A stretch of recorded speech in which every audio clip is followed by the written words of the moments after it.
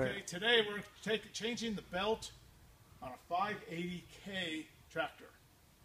The belt goes between the hydraulic pump and the engine, which means you've got a whole bunch of removing to do. I'm going to show you what I've done to get to it and how to change it. First things first, these are the original bolts that hold this counterweight on. I've replaced them with a bolt just like this. So we now have four bolts extra long and I slid the bolt, the counterweight out so we have access to the pump.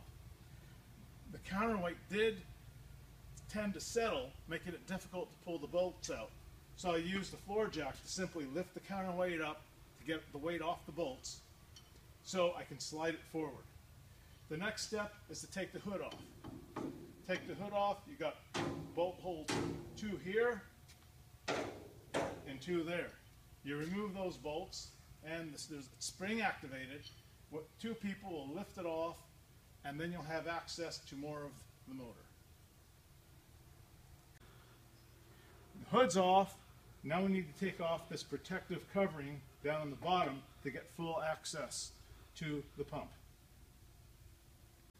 Okay, now that we have the hood removed, the flanging that was in the front removed, and the counterweight pulled forward, you can see the hydraulic pump.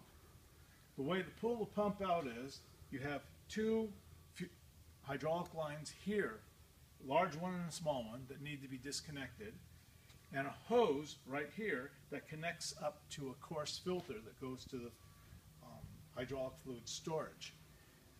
Once these are all disconnected, there's two bolts and two nuts in the back that will be loosened and will slide the pump forward and out if you want it.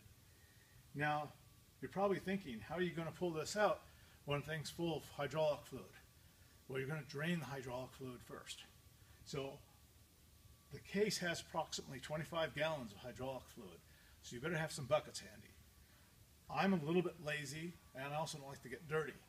So, what I'm going to do is I'm going to open up the fill line, and I have a pump that's normally used for things like diesel fuel, which it's not being used for now, and I've modified it with a hose that will fit down inside, and I'm going to pump this reservoir dry. The reservoir by itself takes about 15 gallons, and I'm going to put it in this 15 gallon tote. If we drained all of the, fuel, the hydraulic lines and the hydraulic rams, you'd use about 25 gallons. And since everything's going to stay stable, we're not going to do anything else. So that's what we're going to do. We're now going to empty the reservoir of all hydraulic fluid. Once we get it done with this, there's a very large drain plug in the bottom, and we're going to drain it just to get any last bits that the hose can't get. So we have to drain the hydraulic fluid. If you don't have something like this, you're going to need at least three five gallon buckets and you're going to have to swap them real fast underneath there because that inch and a half, two inch hole pours hydraulic fluid really fast. And of course, I assume your tractor's been sitting for a while, so the hydraulic fluid is cool, it's not hot. Okay. Okay, well, the idea of pumping the oil out from the top didn't work. Um, apparently, there's just like a small hole or something in the frame, and we could not get the hose down that hole. So we had to drain it out the bottom, and as you can see, we got a bath in hydraulic fluid. Yay. At any rate, the hydraulic fluid is now drained. Now, if you come over here, what we've done so far is using an inch and a half wrench and a one inch wrench, we remove the two hydraulic outs and using just a screwdriver on these uh, radiator clips, we have loosened these two hoses. This pump is now disconnected hydraulically. The only thing that's holding it to the tractor, there are two three-quarter inch bolts on the top, and I believe they're three-quarter inch nuts on the bottom. We're going to take the nuts off, and there'll be the studs sticking out. We'll then remove the two top three-quarter inch bolts, and the entire hydraulic pump should slide out of the tractor with a little luck, exposing the pulley, which will allow us to put on a new fan belt. Okay, so we now have the pump pulled out. What we had to do was, after we drained all the hydraulic fluid, we disconnected the two one inch and inch and a half lines, and then the rubber hose on the inside. There are two bolts on the top.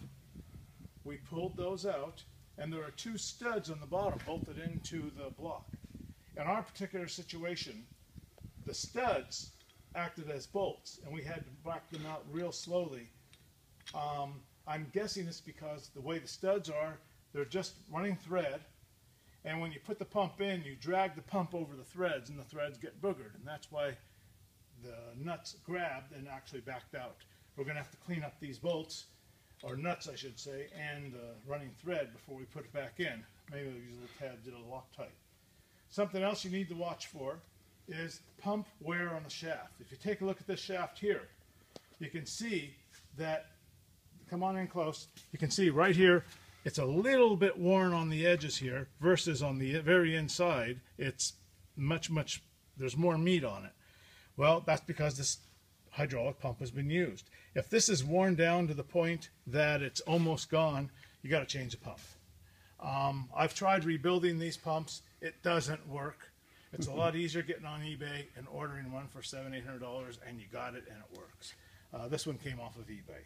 Um, the other thing to watch for is that this pump plugs into this shaft down here. And this is how come we had to pull the pump out. The pulley, here is the pulley right here. You can see I got it. This is the old pulley. And it goes on right underneath it. But because the hydraulic pump fits right into there, you got to if the shaft is worn on the pump, you'll also want to replace this guy. There's only four bolts that hold it on. He kind of wobbles around in there. And this guy here feels like he's got a lot of meat on him. This guy has a little bit of worn out. I'm just going to let it ride. Um, I don't use the tractor that much that I need to change it. However, here's the brand new belt, and this is the problem. While you have to take the hydraulic pump off, now the, the pelt goes down, and underneath, the belt is now installed. That's how it goes. So that's why we have to pull the pump out. Now everything gets reversed. You can see here we put the two studs back in, um, ready to put the pump in. We'll make sure on the shaft you put some um, lubricant on it.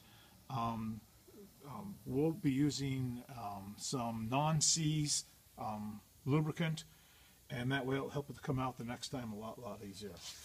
Um, so now we're going to reverse the process, put everything together. Although this video is less than 10 minutes, we're four hours into this job, if you want to know how long it's going to take. Um, I'm going to guess it's probably another four hours before we're going to be done. And again, we're taking our time, but, uh, and we had a big mess underneath the tractor to clean up. So anyway, there you go. That's how you change a hydraulic or a fan belt on 580K by removing the pump. Uh, thank you.